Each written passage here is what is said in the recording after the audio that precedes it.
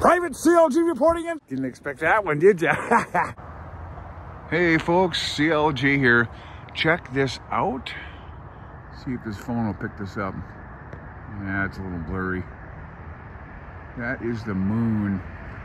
Can't really see it too well here.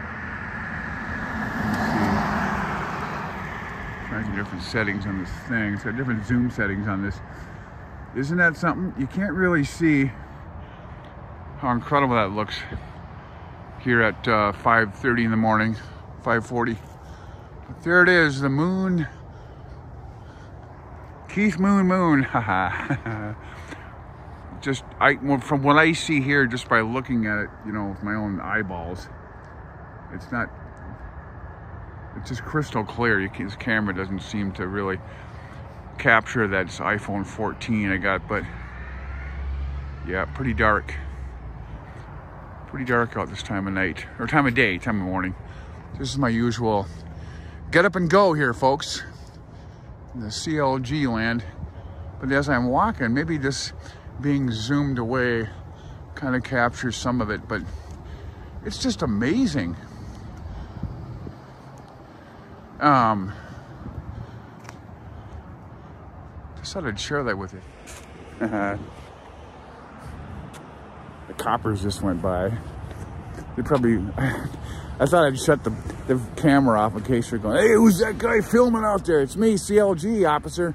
Anyways, uh, no, I'm just, uh, here comes another city limousine. Uh, I wish I could put some ham radio content up in here, folks, but, you know, maybe just, I'm, I'm trying to talk about things that kind of relate and, uh, um, starting to see a few videos pop up here and there about quant quantity of radios. How much? How many radios do you need? You know, um, that's that's a good topic.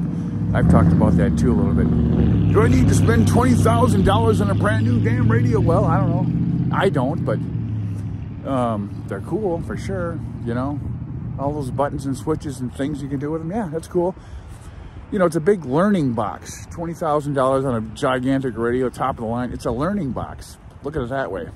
But even the cheaper ones, the low end, uh, you know, the $1,000 uh, FT710s and ICOM 7300s, those are learning boxes as well. So I don't know what I'm talking about here, but um, uh, how many radios should a person have? I don't know. Um, I'm kind of a fan of having at least two HF radios. That's not necessary at all.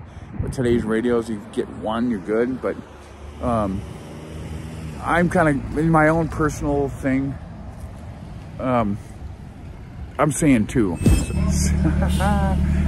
oh, you're getting a live action, live action action going on here, folks. I'm sitting here babbling away and lady walks up to catch this bus. I'm like, uh oh, this this might seem weird. okay, so you get to catch, catch another day in the life of CLG. The weirdo! Have a good day, folks. 73 from your old pal, CLG. Oh, yeah!